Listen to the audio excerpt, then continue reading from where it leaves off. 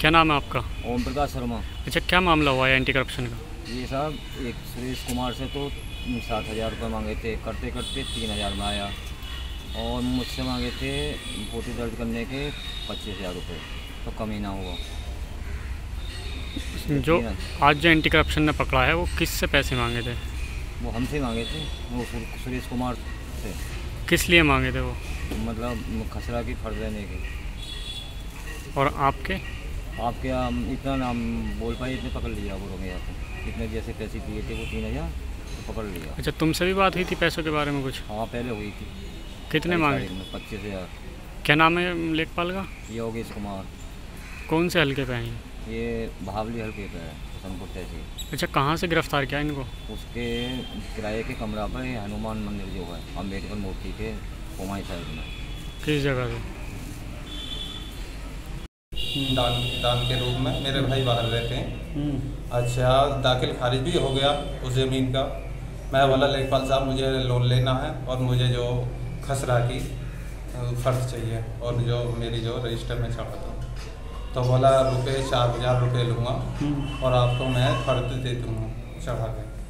मैं, ठीक है साहब मैं वाला साहब, मैं गरीब आदमी हूँ और कुछ कम ले लो।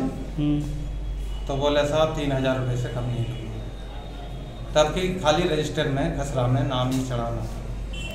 कौन से गाँव का मामला था? ग्राम बहावली। तो अब क्या हुआ उसके बाद में? तीन हज़ार रुपये आपने दे दिए? जी। हाँ। तो तीन हज़ार रुपये साहब देते हुए लेखपाल मैंने रंगे हाथों पकड़वाया। किसको पकड़वाया? योगेश कुमार। योगेश कुमार। अच्छा कैसे एंटी करप्शन से कैसे मिले? जी?